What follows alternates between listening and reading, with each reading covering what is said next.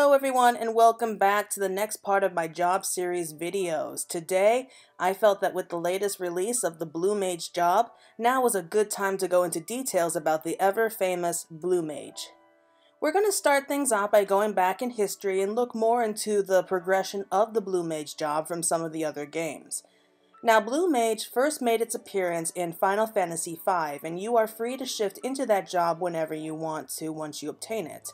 While it's not as old as the white or black mages, it's still considered to be a classic job for the series. Blue mages, as their name imply, are a special type of magic user who focuses on blue magic, and blue magic is a type of magic that allows the user to use attacks that would normally be exclusive to enemies and monsters. They're often seen wearing blue robes and cloaks, oftentimes with a mask, and more commonly use staffs or rods as their choice of weapon. They're usually seen wearing blue robes and cloaks, sometimes even with a mask, and they commonly use staffs or rods as their weapons of choice.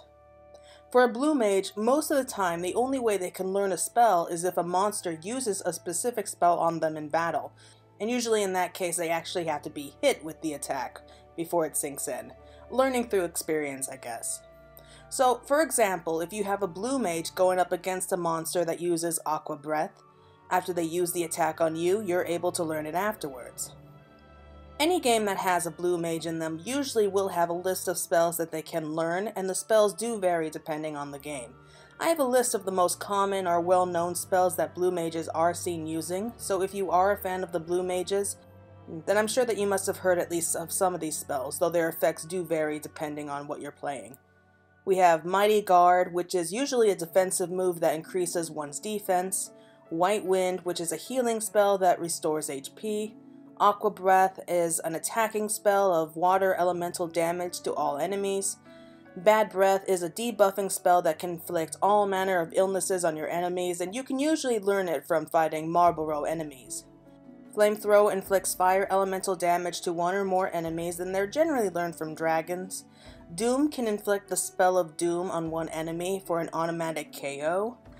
1000 Needles is almost always learned from the Cactuars and they can inflict 1000 points of damage to an enemy regardless of their defense status or bonuses. And Self-Destruct, which allows you to sacrifice yourself to inflict heavy damage to an enemy, and those are generally learned from the bomb enemies. And as you can see from this short list alone, the blue mage generally have a wide range of powers and abilities. While the white mage's focuses more on healing and defense, Black mages focus more on offensive attacks, and then there's the red mage that focuses on a series of more well-rounded spells and attacking. The blue mage is more of whatever the situation calls for spells. Usually, they are the ones that are focusing on buffing and debuffing while having a little bit of everything else. But their spells do tend to range from healing, to buffing, to debuffing, to offensive or defensive attacks. While they are not as strong as some of the other mage classes when it comes to attacking or defending, they are usually seen as pretty capable fighters, and perhaps they have the most variety when it comes to magical abilities. There are many different other spells out there, but the ones on this list are just the most common, and they do give you the basic idea of just what blue magic is capable of doing. Now, as I said before, the Blue Mage was first introduced way back in Final Fantasy V, which happened to be one of the jobs that you earn from the Wind Crystal near the beginning of the game. After you unlock it, all the party members are able to become a Blue Mage, and they are able to learn a host of different abilities whenever they're struck by it in battle. In this game, there are a total of 30 different spells that the Blue Mage can learn, and the best part is that once one of your Blue Mages learns the ability, then they all learn it so you don't have to have them all stuck as a blue mage for them to get the ability.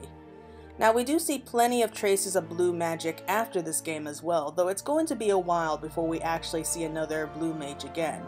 In Final Fantasy VI, blue magic is instead called lores, and you can learn enemy magic by simply witnessing it in battle. So you don't need to be hit with it in the attack.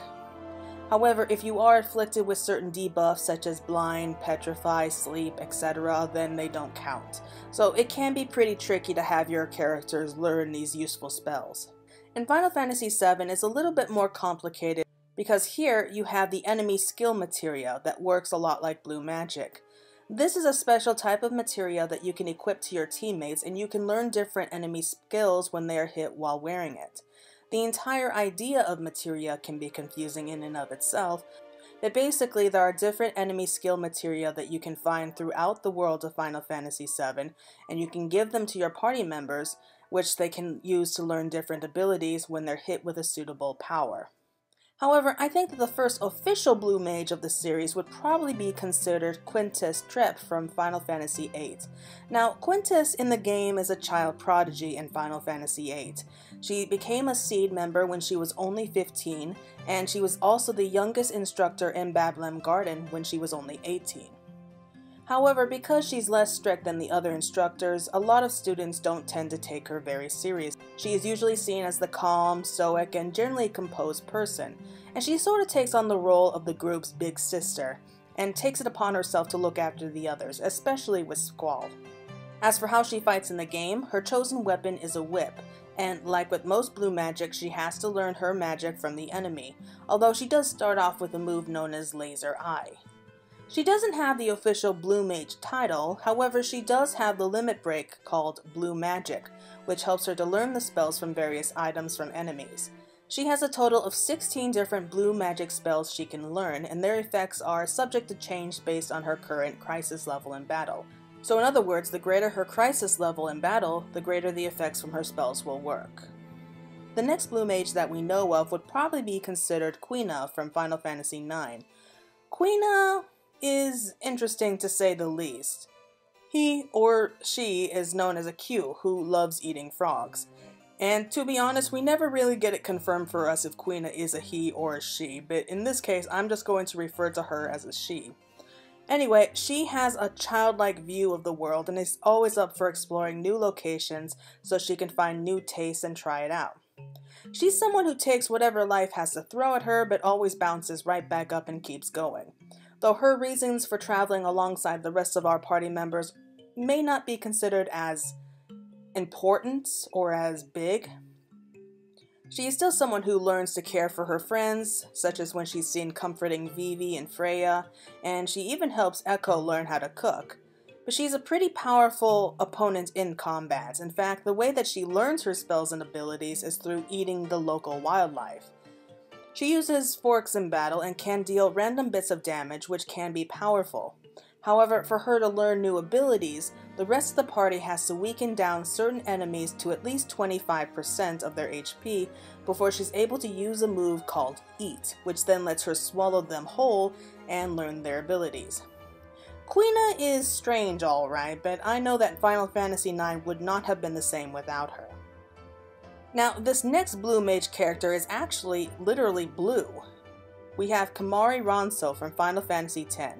Now, Kimahri is a creature known as a Ronso, a strong, horned, cat-like creature from Spira. Now, in his youth, Kimahri faced against a couple of his own tribesmen in battle, but refused to admit defeat even though he knew he stood little chance of victory.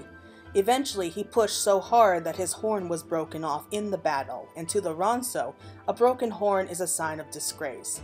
This here is seen as the greatest shame that a Ronso can bring upon themselves, and so unable to carry around this shame, he chose to leave his tribe and was content to wander the wilds for a time.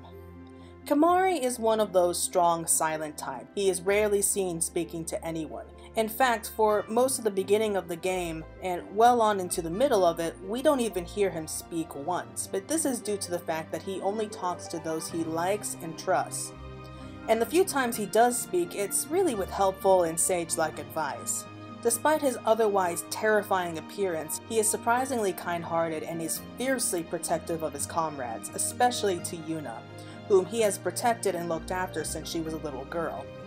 He journeys with us to help rid Spira of sin, but also he hopes to eventually be able to reclaim his honor from his people, and he really does achieve that at the end of the game.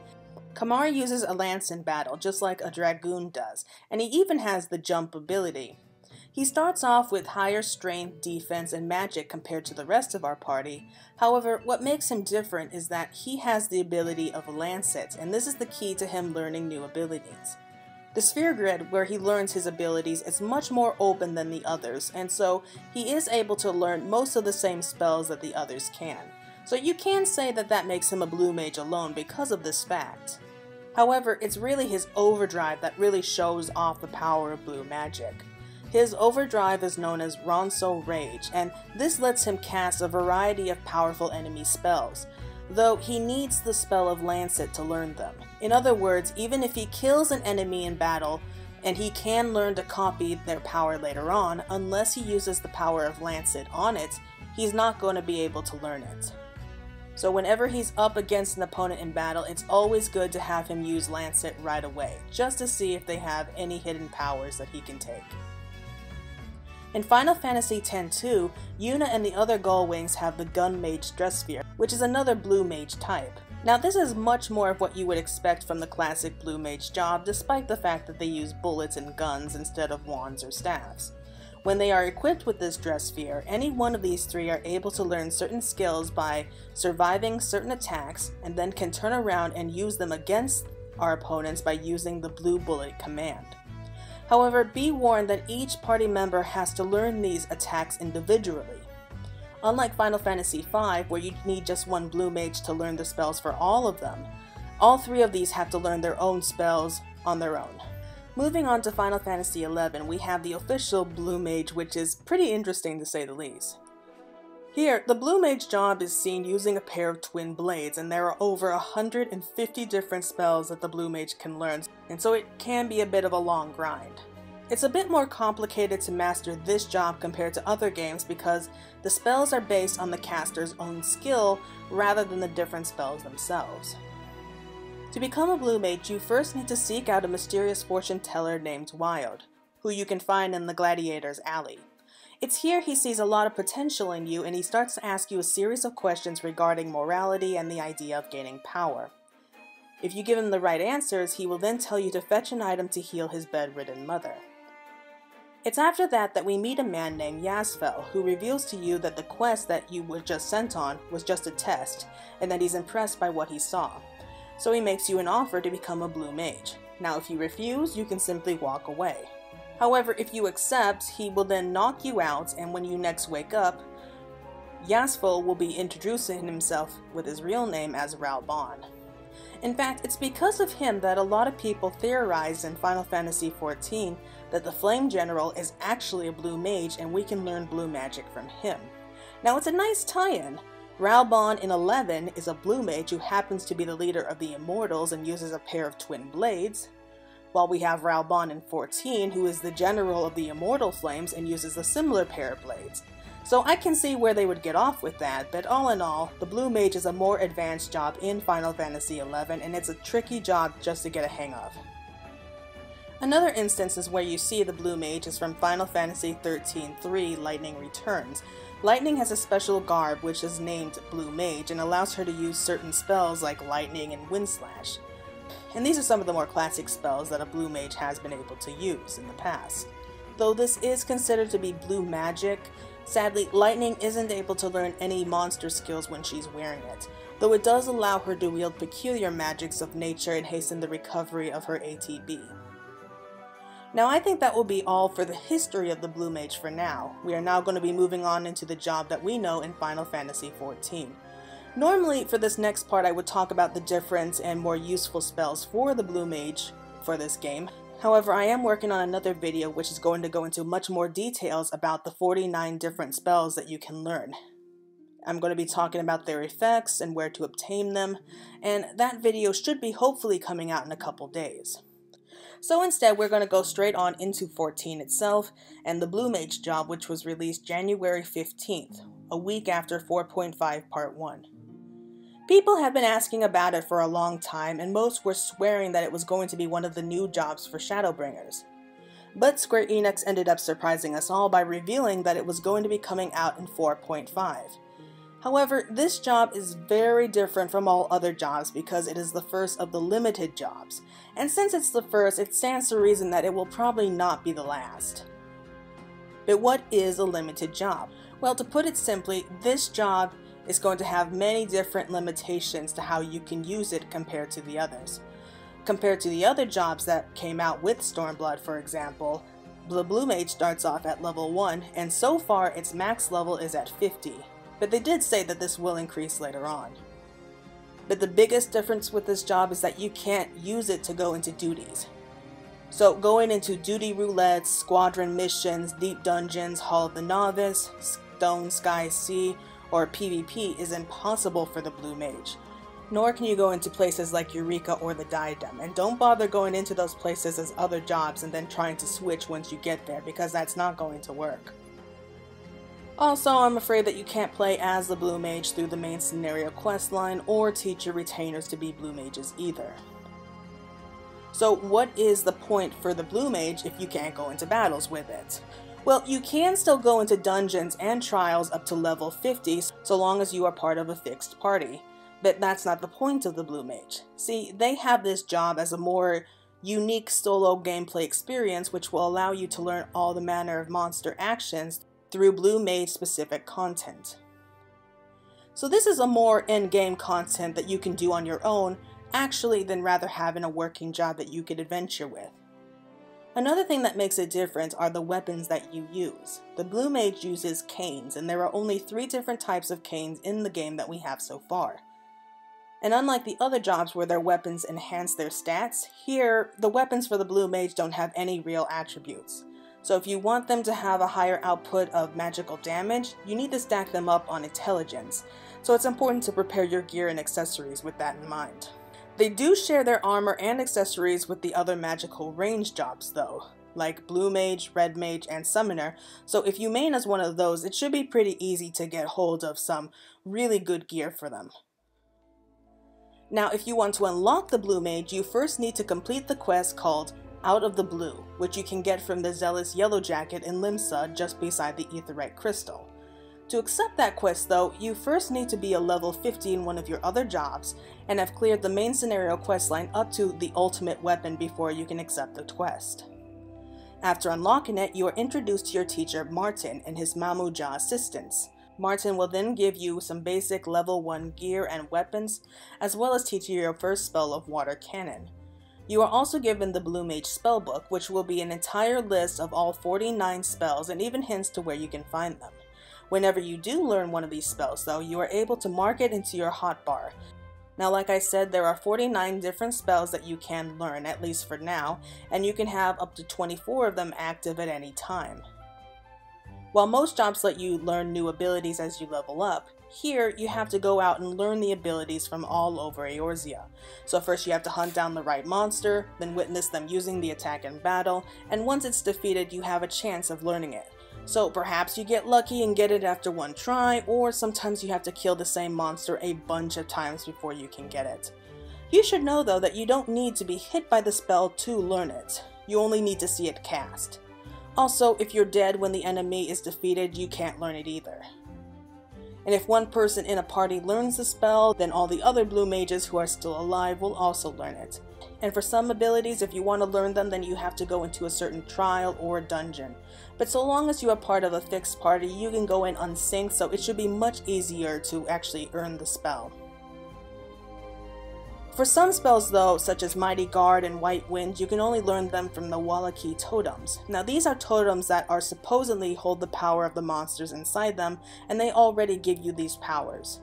To obtain these totems though, you need to complete certain achievements. So you either have to learn a certain number of spells or participate in enough stages of the Masked Carnival before you're able to learn them. Once you have these requirements, you can then speak to Gahi Ja in Ul'dah, who would be happy to give you some.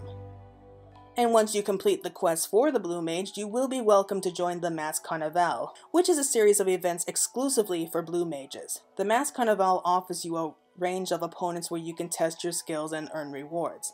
Think of it as like a deep dungeon only for blue mages. You're in the middle of a platform where different monsters have different strengths and weaknesses and mechanics that you have to remember, and you can test out all of your abilities on them. There are 25 different stages at all, and each one will grow more powerful with each stage that you go through.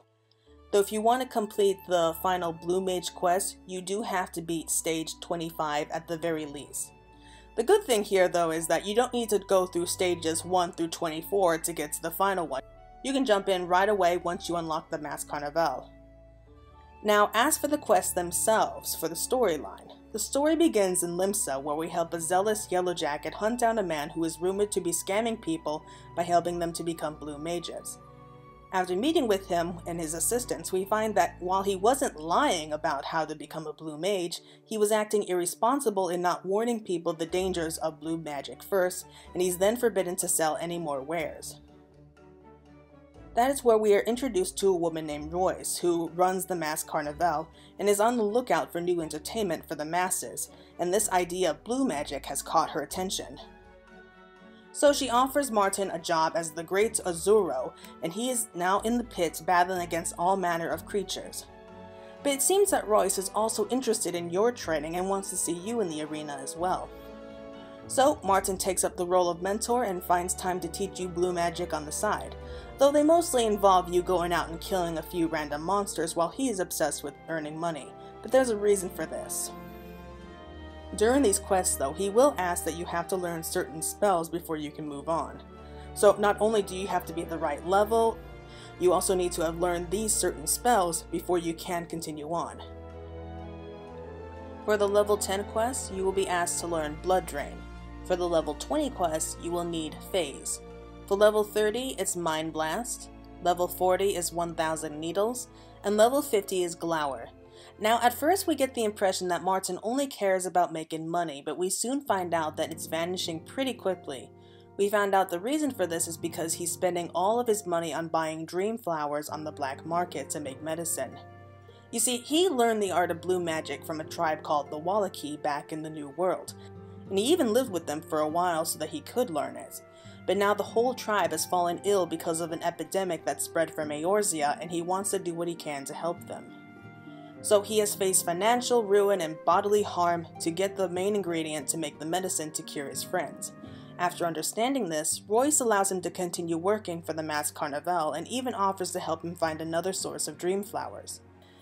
To thank her, he starts performing more often at the Masked Carnival, but eventually he's pushed himself so hard that he was injured by one of the monsters.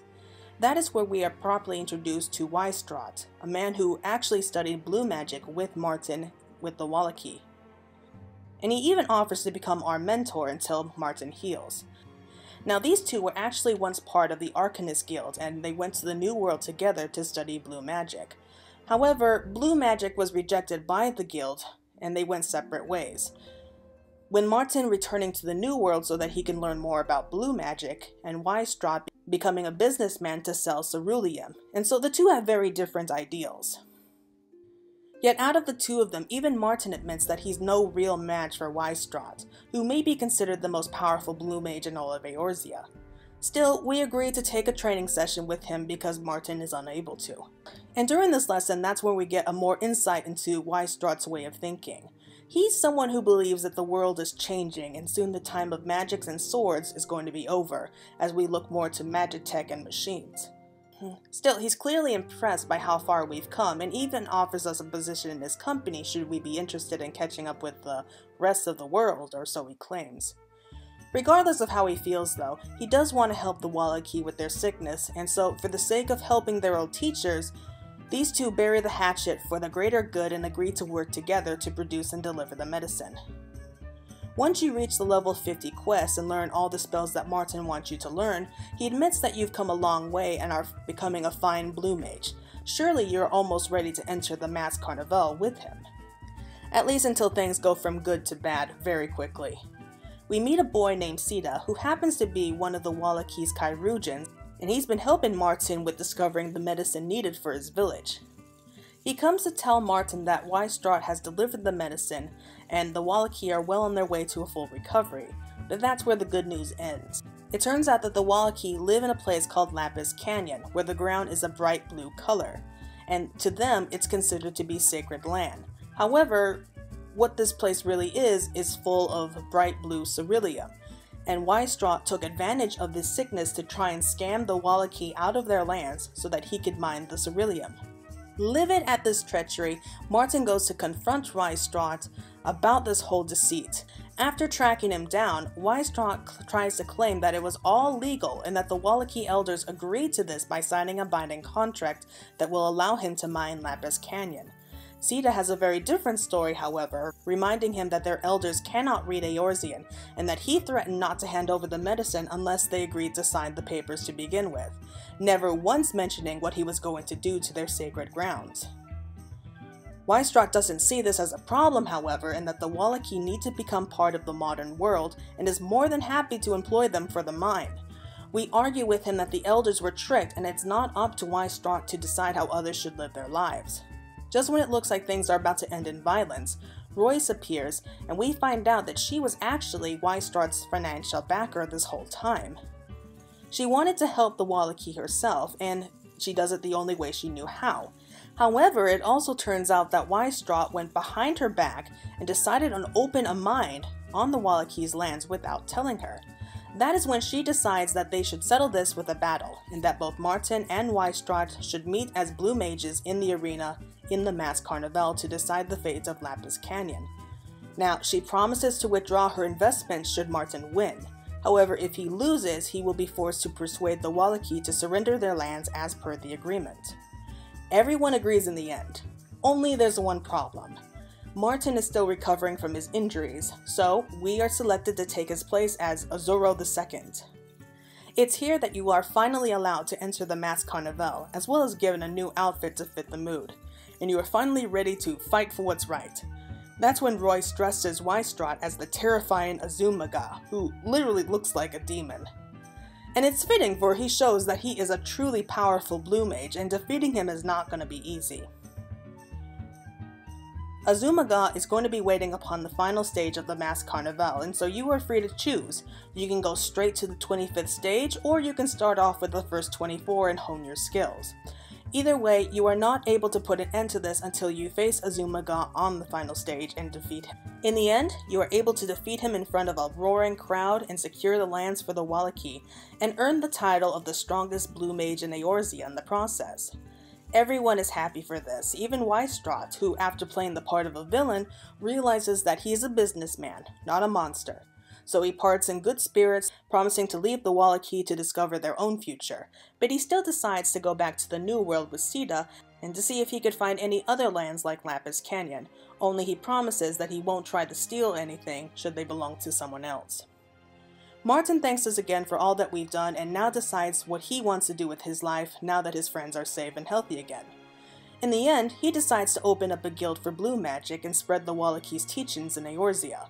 To do that, though, it means a lot of gil, so he's going to continue on being the great Azuro for the time being.